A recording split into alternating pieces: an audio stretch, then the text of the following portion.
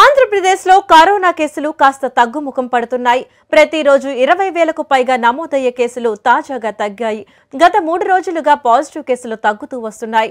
అయితే గడిచిన ఇరవై నాలుగు గంటల్లో తొంభై ఒక్క వేల ఆరు వందల ఇరవై తొమ్మిది మందికి కరోనా పరీక్షలు నిర్వహించగా పద్దెనిమిది వేల ఏడు వందల అరవై ఏడు పాజిటివ్ కేసులు నమోదయ్యాయి. కొత్తగా నూట నాలుగు మంది మృతి చెందినట్లు రాష్ట్ర వైద్య ఆరోగ్య శాఖ తెలిపింది. గడిచిన ఇరవై నాలుగు గంటల్లో ఇరవై వేల నూట తొమ్మిది మంది కరోనా నుంచి కోలుకుని ఆసుపత్రుల నుంచి డిశ్చార్జ్ అయ్యారు. తాజాగా చిత్తూరు జిల్లాలో పదిహేను మంది పశ్చిమ గోదావరి జిల్లాలో పదమూడు విజయనగరంలో పదకొండు విశాఖలో తొమ్మిది అనంతపురంలో ఎనిమిది తూర్పు గోదావరిలో ఎనిమిది గుంటూరులో ఎనిమిది కృష్ణాలో ఎనిమిది కర్నూలులో ఎనిమిది శ్రీకాకుళంలో ఏడు నెల్లూరులో ఆరు కడప జిల్లాలో ముగ్గురు చొప్పున మరణించారు.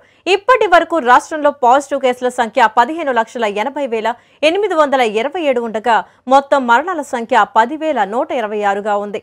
ప్రస్తుతం రాష్ట్రంలో చికిత్స పొందుతున్న వారి సంఖ్య రెండు లక్షల తొమ్మిది వేల రెండు వందల ముప్పై ఏడు ఉండగా ఇప్పటి వరకు డిశ్చార్జ్ అయిన వారి సంఖ్య పదమూడు లక్షల యాభై ఎనిమిది వేల ఐదు వందల అరవై తొమ్మిదిగా ఉన్నట్లు వైద్య ఆరోగ్య శాఖ తెలిపింది.